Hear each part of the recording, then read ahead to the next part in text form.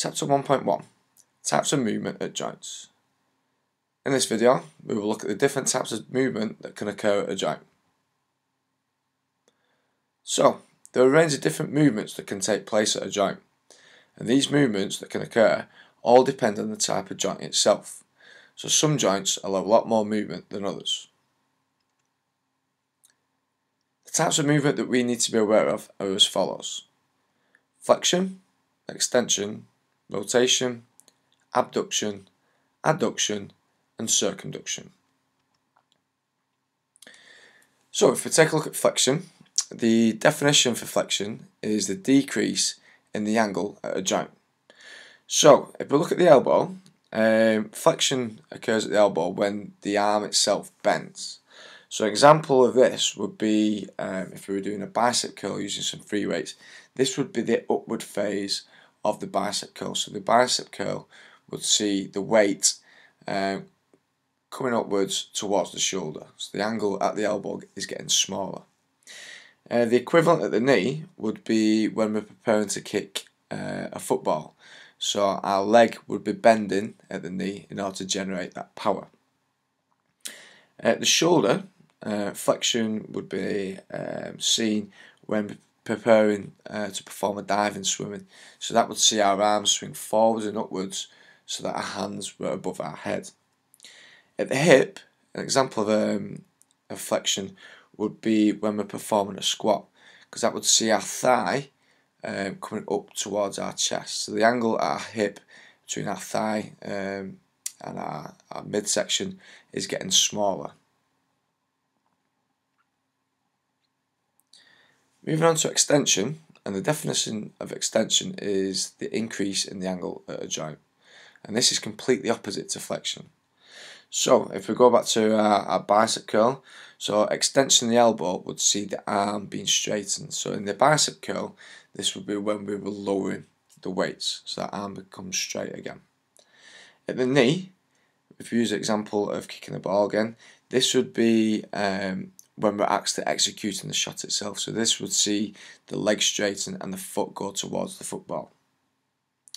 At the shoulder, extension um, would be would see our arms come downwards and swing behind our body. So the good example of this would be um, when we're using our arms in skiing. So when we're putting our poles in the snow and we're pulling ourselves forwards.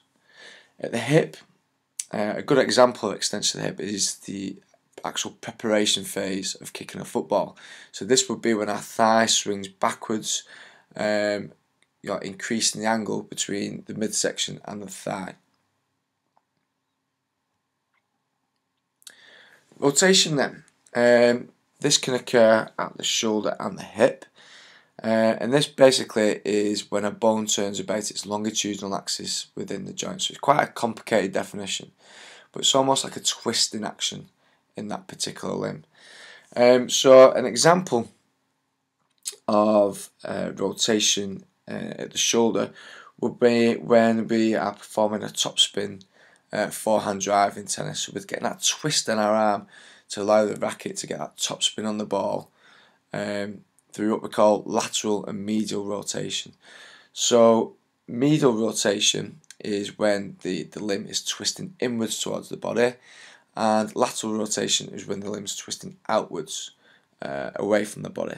So when we're performing that top um, top spin drive in tennis, that would see us using medial rotation because the arms are twisting inwards towards the body.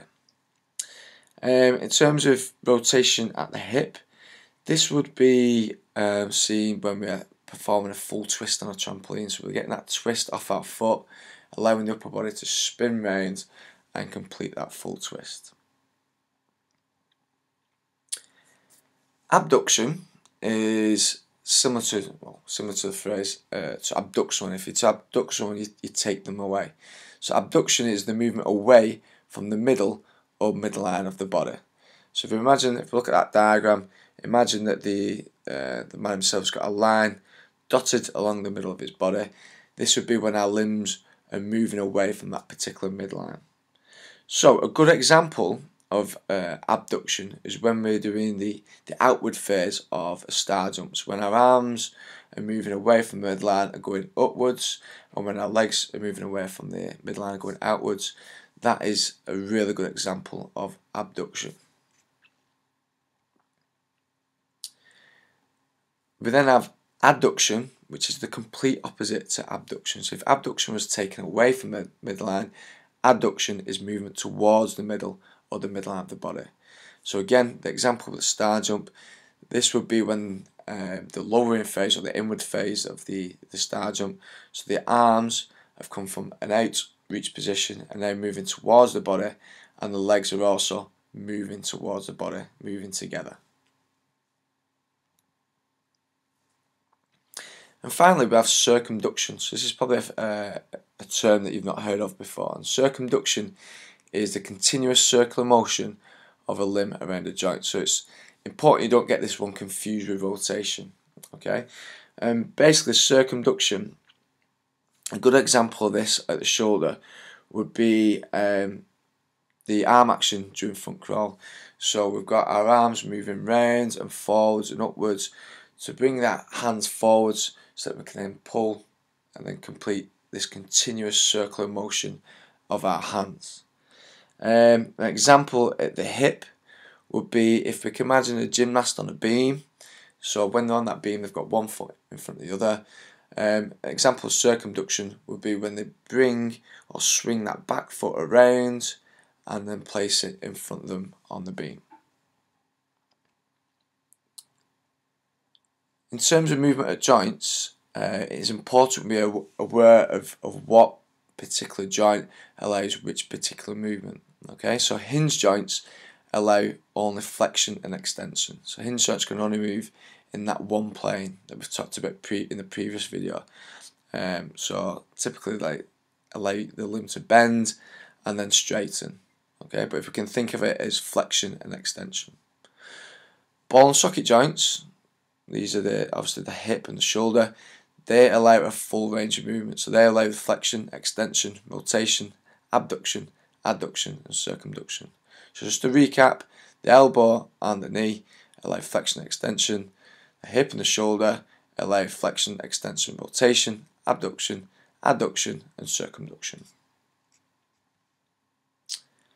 And so that is everything covered in the type of movement at joints. So you now know the six different types of movement that can occur at joint and you now know the actual movements that occur at each particular joint. So what you need to do now is complete um, your homework sheet and make sure that you fully understand all of this uh, for your next lesson.